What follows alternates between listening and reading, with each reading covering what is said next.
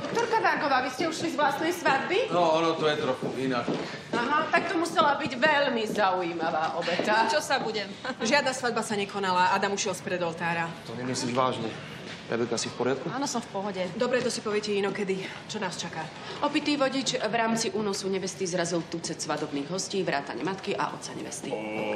Tak, ďalšia spackaná svadba. Asi dnes nie je správny deň na svadbu. Tak, možno je to znamenie, Aké znamenie? že si si ho nemala brať. Máme muža, otec nevesty, zranenia brucha a nôh, podozrenie na vnútorné krvácanie a otraz mozgu. OK, Hauptmann na operačku 2. Vy tu už nemusíte. Ale ja tu chcem byť a aj tu budem. Vodič napálil to do hostí. Rozsiahol poradenia končatín, rozbitá hlava. Dobre, takže celotelové CT a tohto si beriem ja s Romanom. Ja toho hajzla zabijem!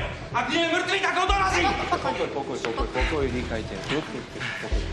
Vy nie ste zranení? Nie, nie, bol som vo vnútri, keď sa to stalo. Ten ožratý hajzel sadol do auta a uniesol mi ženu. Dobre, pokojte sa, vaša Zabijem vás ešte bude potrebovať. Pokoj. No, tak. Operačka jedna, Roman Zuza. A Pichnite mu niečo na upokoj. Dobre, dobre. Mišak, Čo treba? Áno. Pane, pane, poďte so mnou, upokojte sa, som lekár. Poďte, pichnem vám včeličku, poďte. Je to hrozné, čo sa stalo. Máme tu nevestu, kolabuje, rýchlo. Oh, nie.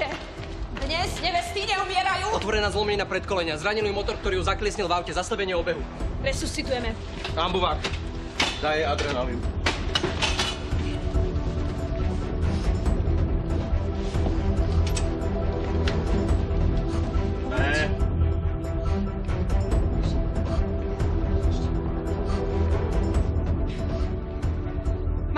Výborne.